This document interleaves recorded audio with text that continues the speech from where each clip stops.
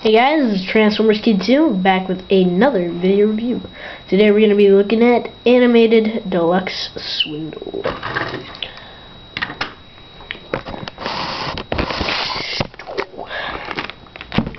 Oh wait, I forgot, there's a box. Um, love that character, it looks cool.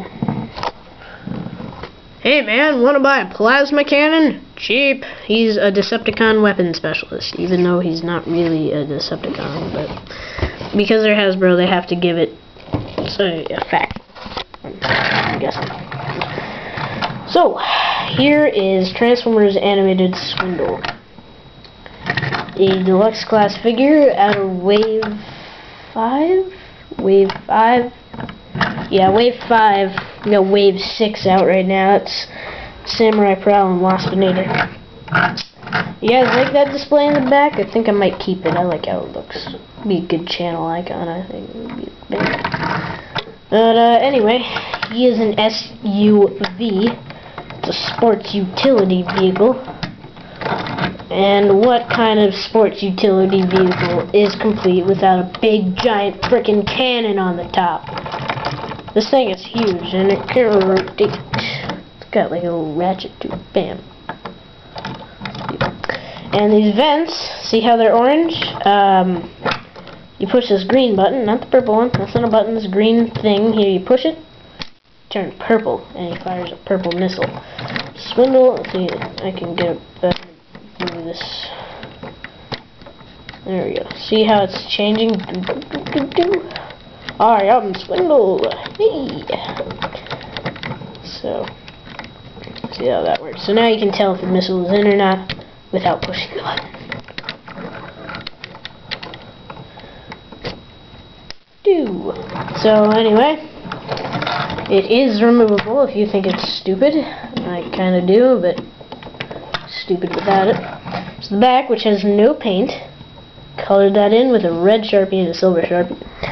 What's better is purple painted windows, translucent purple windows, translucent purple grill, translucent purple headlights, translucent purple missile, translucent purple cannon thing, purple there, purple trigger thing, purple Decepticon logo on the hood. So yeah, let's compare him to Legends Bumblebee and Beach. Uh, so it, it, it's it's pretty small. It's, it's not it's not big compared to other deluxes, which I don't have out and do have Dinobot and Robot mode. That's not helpful. So anyway, if you want, you can peg the cannon on the side so it's you know less obvious that it's there. So Say Swindle's passing. Look out! Oh, hey, officer, I, I don't have a big cannon on my set. so, yeah. Just gonna remove that. And for the transformation, raise the camera a notch. Okay. Uh, start by flipping in the wheels to the bottom and then just pull them down until you hear a little click there. Split the leg. legs. Pretty bright. Okay, that's not bad. This green that my camera is picking up is nothing like the green on the actual toy. It's actually picking up as a yellow. There we go. So there's the legs. Done. And just take these and flip them up. Take this part, bring it down so that these are free. You bring these up, push the head up, snaps in place. Flip this down, bring these up. Okay, bring the arms down, around. And then we'll just take this, flip it up, and push it down and in, like that. Flip out this hand and then flip out this part which he's extremely long fingers and bring out the thumb and then bring this up and it tabs into that little slot here. Okay.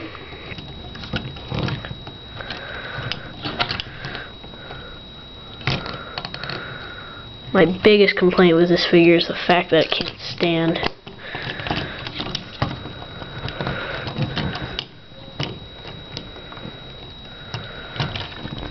You'd be at this for a whole 10 minutes. Finally flip the wheels out. Stands better. At least on this copy. Okay. And there's Swindle. Ah.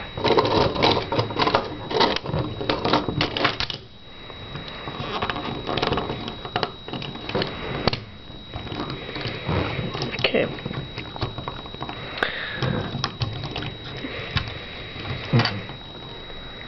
There. Uh, so here he is in his robot mode. He is a short deluxe figure. Here's Dinobot, which is also short, but it's taller than he is. You know, a better comparison is a box. It goes up to about black part of this cannon. Ah, there goes Optimus off the skateboard. That's something that I don't like about this whole display is it, it's really close. It's sometimes a problem. Okay. Yeah, and he has his cannon, which you can peg onto this arm only. Okay. And that's Swindle. I'm not too impressed with him as everyone else is. He has a really cool head mold, and he has a lot of translucent purple. My lamp. Okay. Look at all the parts that are translucent. His eyes, he has big eyes. His legs. His fingers. Now, look at those eyes. They even molded in little pupils on the inside, so they're... See? Chest is translucent purple. His arms are translucent purple.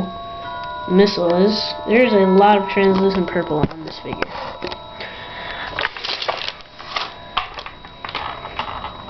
Okay. Uh, the articulation is the head can rotate, arms move up, back, out. Bend at the elbow, they can pivot here and at the thumb. Legs move up, back, out, bend at the knee. You know, basic stuff here. Oh no, standing thing again. Shouldn't have moved the legs. Okay, there we go. Um, gimmicks, well, of course, he has his cannon, but if you flip down the chest, flip this out, get a cannon, a little Gatling gun out of his chest, which that looks stupid. It does not fit in with the animated line. It looks too realistic. He has these things in the back, which I don't know what they are for. His head is like flat. There's the side of his head. It's like flat. It's very funny. And he has a it's like a smirk on his face. Kind of see there. Um, get another comparison. Legend Starscream. He is he's short. He is definitely a short deluxe figure. Not tall at all. So uh, another complaint I have oh, I forgot he can rotate is these oh, and they can move here too. And here. I have a ball joint here and a little swivel here. A problem I have with the arms is the ball joint is too tight. Now watch this. You see how I did that? That's because the ball joint is too tight, so it's, it's kind of hard to get good poses out of him. He's not he's not a fighting kind of guy though, is the thing. He's not a warrior, he's a arms dealer. Oh, and the legs can rotate too. So, he's he's a decent figure. He's not something to pass up. I know a lot of people love this toy, but I'm just not one of those people. Uh, so, anyway, uh, he still has his firing missile. Yeah, so anyway, Transformers Kid 2 rolling out. I recommend the toy. Thanks for watching. Stay tuned for more. This is Transformers Kid 2 with Animated Swindle. Please subscribe. Thanks for watching.